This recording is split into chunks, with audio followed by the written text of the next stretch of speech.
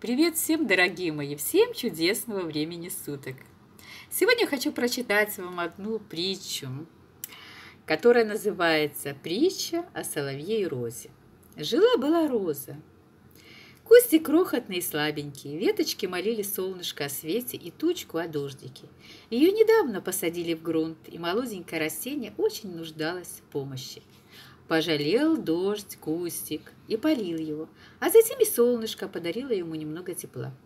Распрямились веточки, побежали в рост листочки, и роза стала набирать соки. Завязались бутончики на кустике. Проходящие рядом стали обращать на нее внимание. «Еще чуть-чуть, и цветы распустятся», — говорили они.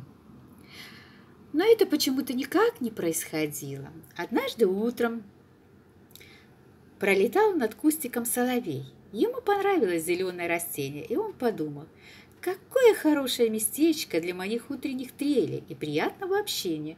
Он сел на веточку и запел. Его волшебный звонкий голосок звучал. Роза заслушалась, и, о, чудо! Она расцвела. А соловей, гордый и довольный, продолжал выводить рулады. Он подлетел поближе к ней и рассыпался в комплиментах яркому цветку. «Мне понравилось», — сказала Роза.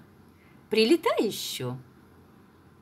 И соловей прилетел и завтра, и послезавтра. В один из таких дней Розе наскучило его пенье. Ей захотелось новых песен. Может, Иволга прилетит или удот. Но прогнать соловья было как-то неловко. Но вот если бы он сам обиделся и улетел, не раздумывая, она сказала, «Поправь мне шипы, они мне мешают».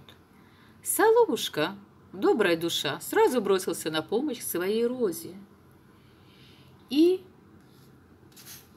поранился. Кровь брызнула из его нежной грудки.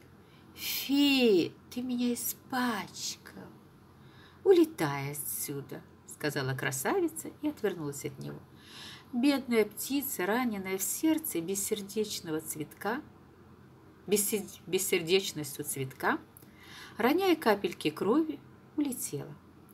Роза расправила чудесные лепестки и радостно огляделась. Она почувствовала себя настоящей королевой цветов. Роза была готова привлечь другого певца, что, впрочем, вскоре и сделала. Но об этом в другой раз. Дорогие мои, если вам понравилась эта притча, я буду рада вашим отзывам, лайкам, подпискам, репостам. Всех люблю, всем чудесного денечка вечерочка и времени суток. Ваша я. До новых встреч, друзья!